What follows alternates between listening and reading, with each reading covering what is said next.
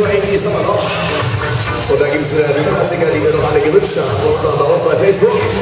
Wir haben euch nicht vergessen, ganz bestimmt. Go! uno.